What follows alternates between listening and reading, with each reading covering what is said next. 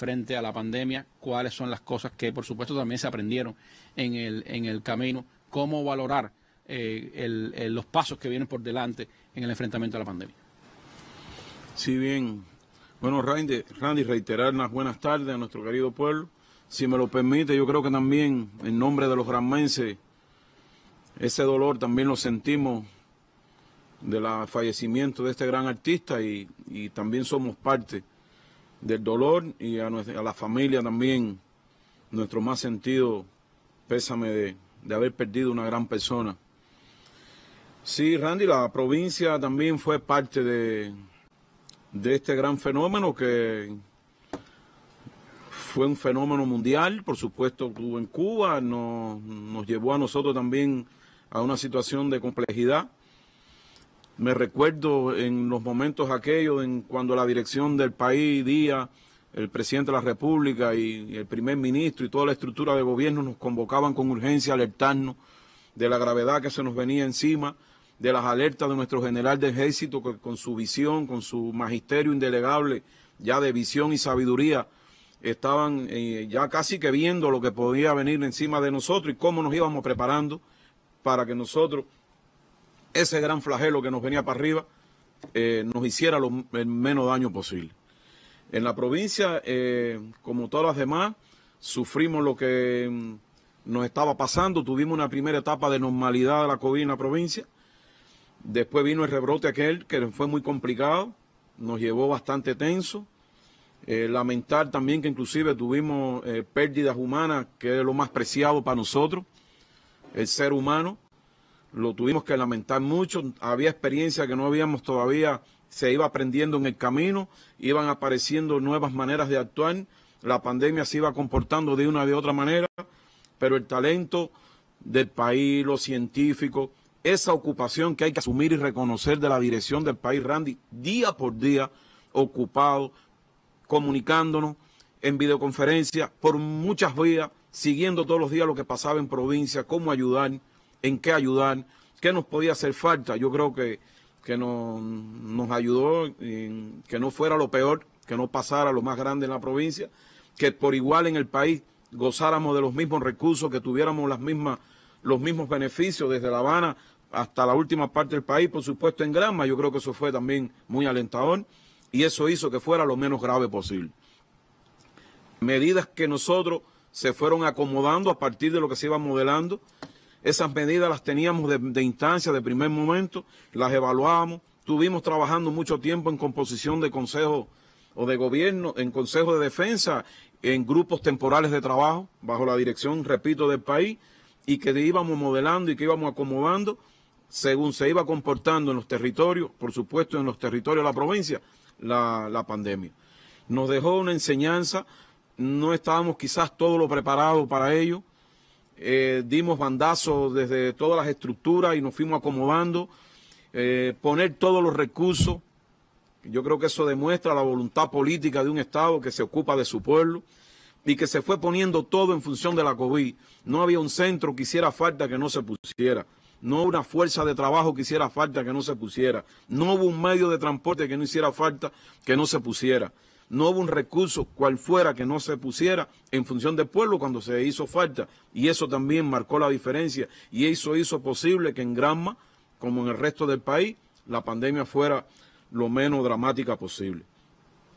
Hoy, con esas vacunas que han descubierto nuestros científicos, gloria a ellos y, de verdad reconocimiento y el amor de nuestro pueblo que siente por lo que han hecho, que salió de lo que ha hecho y hizo nuestro comandante en jefe, de los científicos que formó, de los centros que creó, ha hecho posible que hoy estemos vacunados en Granma, esos son indicadores casi que de lujo, el 98% de la población posible a vacunar. Y que ahí estemos hablando de un refuerzo y que andemos ya casi por el entorno de un 95% de refuerzo de esa vacuna, Ahí están los resultados. Se demuestra la eficacia de ella de verdad, cuánto efectiva ha sido, cuánto nos ha servido. Y eso yo creo que también es importante y lo reconocemos los granmenses. Estamos muy agradecidos de ello. Y por encima de todo, Randy, ahora, no violar las medidas. Seguir respetando, seguirlas complementando. Que nuestro pueblo entienda que la COVID todavía no, no ha terminado. Que podemos todavía, si nos descuidamos, volver atrás. No es posible y que el pueblo lo entienda. La disciplina del pueblo de haber acatado todas las medidas que nos fue el pueblo o que le fuimos indicando que el pueblo eh, eh, asumiera, eso fue importante. Bueno, un indisciplinado, dos, son los menos, siempre, y hay que asumirlo de verdad, pero la mayoría del pueblo las asumió, las admitió, y, eso hizo posible también, Randy, que la eh, pandemia haya sido lo menos traumática posible.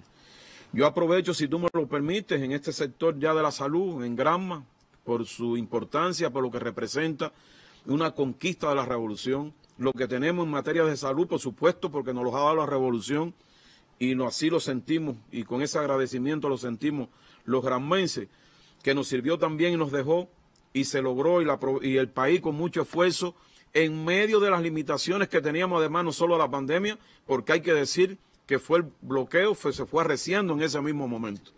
Oportunistamente, en la medida que más complicado estábamos, se empezó a arreciar el bloqueo, aparecieron aquellas medidas, una y tantas, llegaron a las 240 y tantas medidas que el pueblo las asume, las reconoce y lo sabe.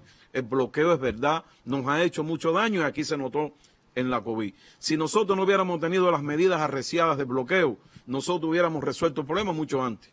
Porque aun cuando teníamos necesidad de muchos recursos, no era posible que el país los adquiriera y los pocos recursos financieros que teníamos, tuvimos que dedicarlos entonces a, todos aquellos kits de diagnóstico y sabemos lo que nos costó y lo que nos pasó. Se logró un, laboratorio de biología molecular que no teníamos y que nos empezó a dar entonces una oportunidad y más rapidez en, las medidas que teníamos que, que en, los diagnósticos que teníamos que hacer de la enfermedad. Que queda para el futuro. Que nos queda para, el futuro. Para las epidemias. Para otras enfermedades también que tenemos que seguir enfrentando. Y yo creo que también eso es importante. Y nos dejó la fortaleza de darnos cuenta que puede ser esta, mañana puede ser otra pandemia.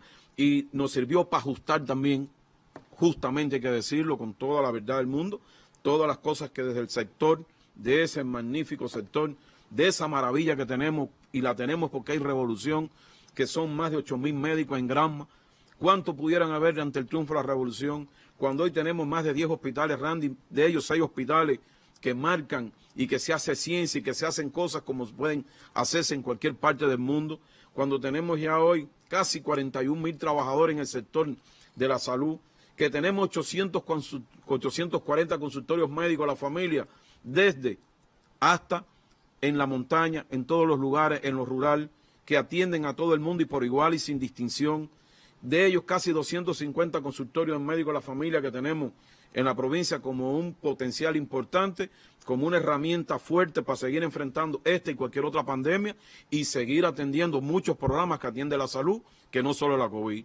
Cuando nosotros podamos definitivamente salir de ella, tenemos que seguirnos enfocando en todos los demás programas, que son muchos que se atienden, que hay un sistema bien armonizado, bien montado, que hay un sistema de dirección. Aquí está nuestra directora provincial, joven, mujer, capaz de conducir el sector, que lo está haciendo bien, que lo está haciendo con toda con todo el dinamismo que nosotros necesitamos en estos tiempos. Y agradecer a nuestros médicos, si no, no hubiera sido posible, y agradecer a todos los que de alguna manera u otra, Randy, en la provincia hicieron posible que la pandemia haya sido lo menos traumática posible. Hay que decirte que en medio de la pandemia, cuando más arreciado estaba el bloqueo, tuvimos necesidades de oxígeno y que la las Fuerzas Armadas Revolucionarias, al lado de su pueblo, defendiendo a su pueblo, haya asumido la organización, el control, la distribución del oxígeno, que fuera equitativo, que fuera oportuno, que llegara en su momento, eso nos distingue. Nosotros lo agradecemos y el pueblo sintió esa alegría, el pueblo sintió de verdad el calor de esas Fuerzas Armadas. Ahí están, no con las armas, ahí están con un helicóptero, ahí están con un transporte, ahí están los soldados, ahí están la máxima dirección de las Fuerzas Armadas Revolucionarias, llevándole a su pueblo el oxígeno a tiempo y con oportunidad. Yo creo que eso ha sido eh, más que de, verdad, de sentirnos. las tropas del Minin apoyando también todo ese traslado. Que las tropas del Minin asegurando todo lo que se hizo y todos los organismos puestos en función de, de que el pueblo sufriera menos posible el embate de la pandemia eso en Granma fue de verdad fuerte, fue bastante, nos sintió y el pueblo sintió de verdad qué cosa es la revolución, qué cosa es el socialismo, con pocos recursos, cuánto puede hacer por su pueblo. y eso lo vivimos en este tiempo, Randy. La enseñanza ahí está, nos dejó protocolos de actuación, planes que tenemos que seguir revisando y que se fueron actualizando. ¿Y qué te puedo decir? El agradecimiento eterno a nuestros médicos, a nuestros científicos y al pueblo que con tanta disciplina también asumió lo que algo que pudo ser traumático fue lo menos eh, lo menos grave posible. Pero ahí siguen las medidas, como usted decía, se sigue trabajando en, que no haya rebrote en el, en el país y tampoco en esta, en esta provincia y también el proceso de vacunación. Ya estamos en la etapa de refuerzo, aquí en Granma pues ya eso ha estado avanzando, 98% de vacunación, como usted decía, un índice de lujo, pero ya no solo es la vacunación completa, sino ya la etapa de refuerzo y eso se está haciendo en toda la provincia. Desde un área de salud de Bayamos tenemos testimonio de lo que está pasando ahora en este territorio. Hasta el consultorio número 44 perteneciente al Policlínico René Vallejo en Bayamo llegó nuestro equipo de prensa en busca de información sobre el proceso de vacunación en la comunidad. Aquí se atiende a un universo poblacional de 1.200 habitantes y desde la primera semana de enero se ha intensificado el trabajo para completar esquema y reforzar a la población vacunable en esta área de salud. Estamos poniendo la vacuna del refuerzo de Abdala ¿ya? Primera, segunda y tercera dosis. Y también los convalecientes que tienen más de tres meses de haber padecido la enfermedad con la primera dosis y aquellos que hayan tenido una primera dosis con más de seis meses, se le está poniendo refuerzo con Soberana Plus Intiomersal. De acuerdo a la información ofrecida por especialistas del programa en el municipio de Bayamo, en este momento están garantizados en todos los vacunatorios los bulbos para la administración de Abdala o Soberana Plus y se intensifica en la comunidad el trabajo con los lugareños para lograr el propósito en el menor tiempo posible. Se está trabajando en una dinámica desde lo familiar hasta este más bien el consejo desde el barrio se está trabajando con los líderes también nos están apoyando la mayoría del número de población ha asistido voluntariamente no ha sido necesario buscarlo el consultorio 44 de Bayamo es uno de los 200 sitios vacunales abiertos en territorio granmense para avanzar en el proceso de inmunización del pueblo. Catiusca León, Sistema Informativo de la Televisión Cubana.